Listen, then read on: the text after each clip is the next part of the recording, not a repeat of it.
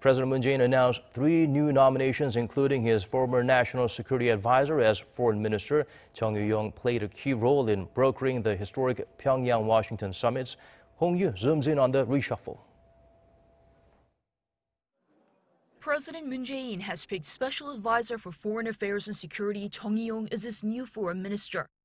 Chung has extensive experience, including three years in charge of foreign affairs and security matters as director of the National Security Office.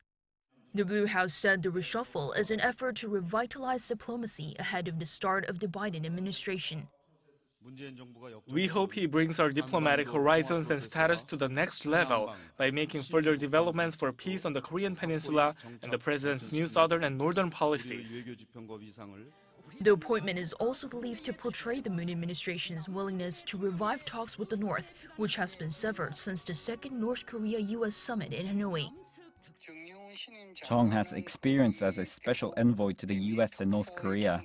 Moreover, he is seen as a figure who has earned trust from North Korean leader Kim Jong un, so he has the capability to play the role of facilitator in North Korea US talks.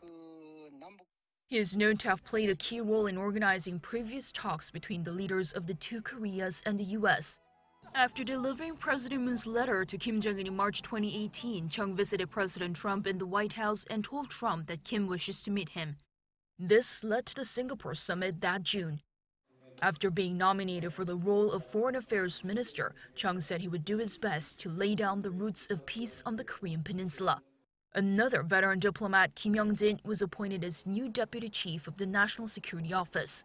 He is well experienced in North Korea's nuclear issues and diplomacy with the U.S. and China.